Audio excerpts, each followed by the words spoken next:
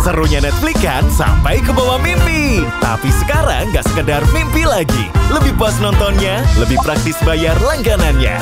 Ayo langganan Netflix di IndiHome sekarang.